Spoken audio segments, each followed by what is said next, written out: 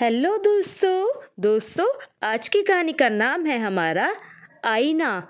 एक बार एक बहुत ही खूबसूरत आईना दुखी हो गया, क्योंकि उसकी कोई तारीफ़ नहीं करता था।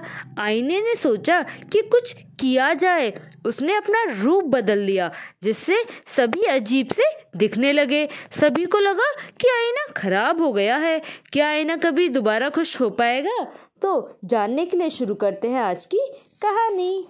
एक था आईना, बहुत खूबसूरत। सब उसमें खुद को देखते, निहारते, सजते, संवरते और खुश होते।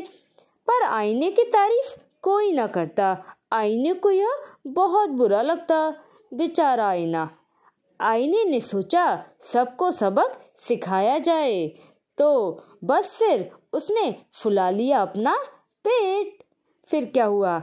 अब सबके चेहरे फूल गए, गुब्बारे जैसे दिखने लगे। देखो कैसे गुब्बारे जैसे दिख रहे हैं। आईने ने फिर से रूप बदल लिया। इस बार पेट अंदर कर लिया। तो अब सबके चेहरे खम्बे जैसे लंबे हो गए। सब एक दूसरे पर हंसने लगे। कैसे हंस रहे देखो? आईने ने सोचा, अभी और सबक सिखाया जाए। उसने पेट को ऊँचा नीचा कर लिया। यह देखकर सभी हँसी से लोटपोट हो गए एकदम। सबने सोचा कि आईना खराब हो गया है। उसे उतार कर एक कोने में पटक दिया बेचारा आईना। कई दिनों तक वह वहीं पड़ा रहा। उस पर धूल जमने लगी, पर आईना बेहद दुखी हो था, क्योंकि उसको एक कोने में पटक दिया था ना। एक दिन एक कबाड़ी वाला आया।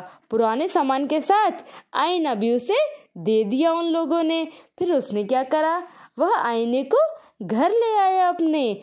उसे दीवार पर लगाया और सबने उसमें देखा। उसमें खुद को देखते, निहारते, सजते, संवरते और खुश होते। और तो और आईने की तारीफ़ भी करते। अपनी तारीफ़ सुन आईना भी खुश होता।